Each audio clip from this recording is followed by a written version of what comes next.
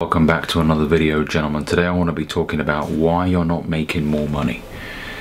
I learned some incredible lessons from the late Jim Rohn who sadly passed away in 2009 but he had an incredible outlook on life and his lessons till this very day are helping millions of people. And one thing that I learned from him was you get paid based on the value you bring to the marketplace you know, a lot of us assume that we only get paid based on the time that we put in. Oh, well, I get paid £10 an hour, 8 hours, that means £80. But the reality is your value to the marketplace is the equivalent to £80. Now, don't take this the wrong way. You might enjoy your job, but the reality is the more valuable you become, the more skillful you become at what you do, the more money you can demand. Which is why I encourage everyone to go out there and find a purpose, find a way for you to maximize your earning potential. I'm not here to, you know, shit on jobs and say that jobs are bad, because I know some of you watching this might be doctors and engineers, and credit to you. If you enjoy what you do, brilliant. But if you want to maximize your earning potential, then you have to ensure that you are leveling up your skill set. You know, I observe public speakers. You know, one of my favorite public speakers is Eric Thomas. And he even talks in some of his seminars about how when he first started off, he was charging a small amount of money. I say small, he was charging maybe 10,000 per speaking engagement. And he thought he was doing great. And then he thought, you know what? The more I level up, the better I become, the more money I can demand. Now, for the same amount of time, so maybe an hour or a two hour talk, he gets paid considerably more than he used to 10, 15 years ago for the same amount of time. Still one hour, still two hours, but now he can demand 10, 20 times more than he used to for one hour's work. Why? Because he became more skillful, he became more valuable to the marketplace. And so, one of the reasons why you may not be making more money right now is because you're not working on improving yourself. It's easy to show up to a place and sit down for eight hours and make the money. But you can't be mad if you're not making more year after year because you're not really doing much to improve yourself. You're basically sitting at a desk maybe and just, you know, waiting for the hours to go by. It is until you make conscious and intentional effort to improve your skill that you can demand money. Demand more money, shall I say. Okay, so bear that in mind. That might be the first reason. You are simply not improving your value to the marketplace. You are stagnant. You haven't done much to improve yourself in years. And the second reason could be because you simply haven't given yourself enough time to become valuable to the marketplace. And this applies to the younger folks out there. Those of you that are 18, 19, 21, you know, you just simply have to allow time to take place. In that time, of course, do the best that you can to improve your skill. But you can't, for example, start a job at 19 and then be like, why am I not making 100k a year at 20? You gotta focus on becoming more skillful, more valuable to the marketplace. So these are just some principles that when I reflected on them, I started to approach money making in a different way. Instead of saying, well, I put this many hours in, I started to think, you know what? I haven't improved my actual skill. I'm just showing up, I'm just sitting there. I'm just looking at the clock thinking, right, how many hours do I have left? So how can I expect more money? I'm not actually taking deliberate action. I'm just chilling. But when I decided, right, I need to improve my speaking skills. When I decided that with trading, I need to actually back test and improve the way that I view the market, improve my trading psychology. When I started to think about ways to improve my skill instead of just sitting there expecting, well, you know, I'm older now, so I guess I should be making more money. Right, you know, where's the money at?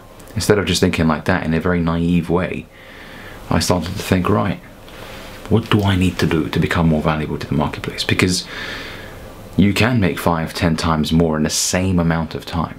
You can. There are people out there that you look you look at them and you're like, how the hell is he making this much? I'm working the same hours as him. He's making 10, 20 times in a year more than I am.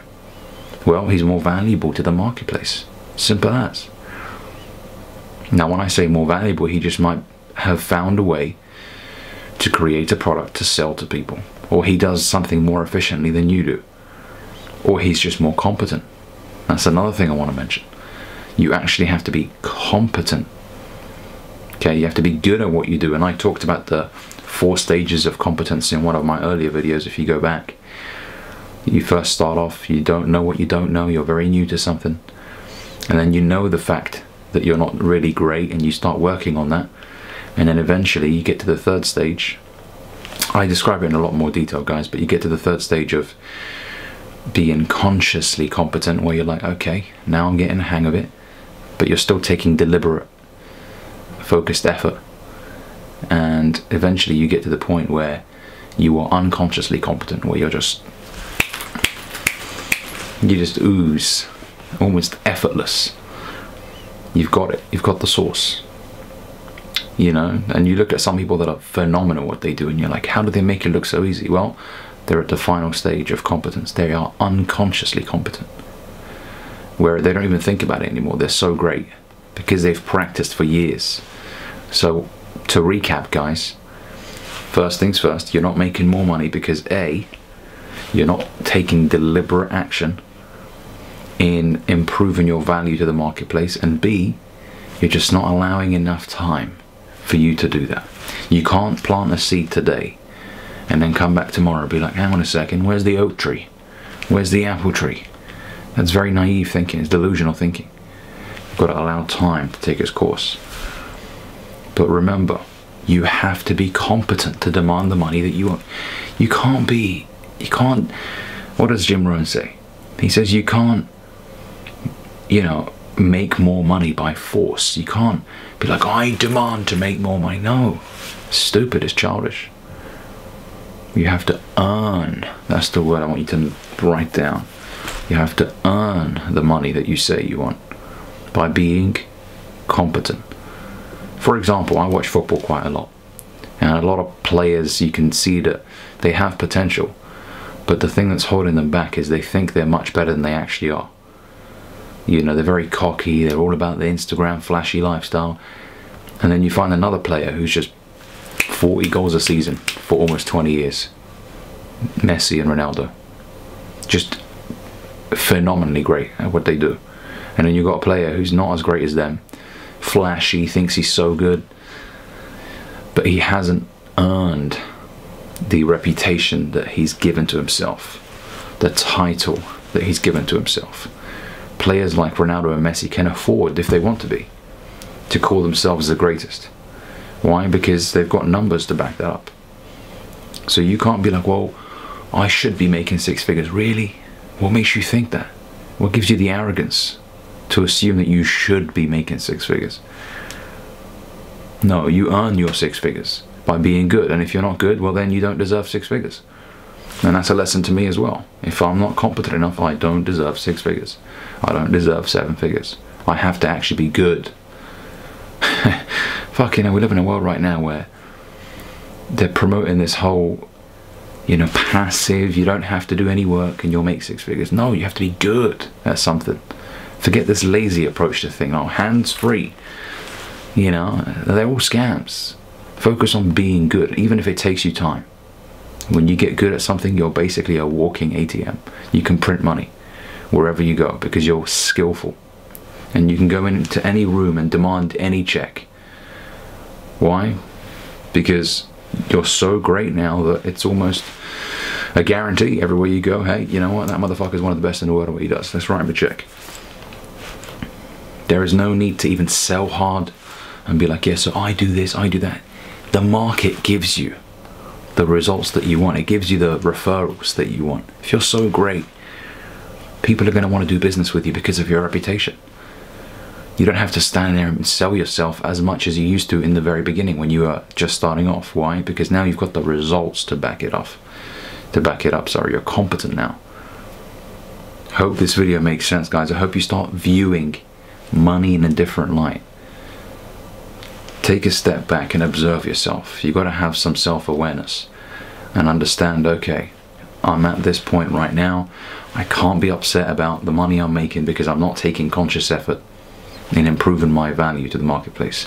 So I need to go back to the drawing board, focus on creating as much value as possible, and then the money comes with it. And that's what I'm doing to this very day. I always focus on bringing as much value to the marketplace as I can. I'm not going to cry about how much money I'm making if I'm not taking conscious effort to improve myself and improve the quality of the work that I do. Hope this video helps, gentlemen. Make sure you like and subscribe down below, and I'll catch you guys in the next video.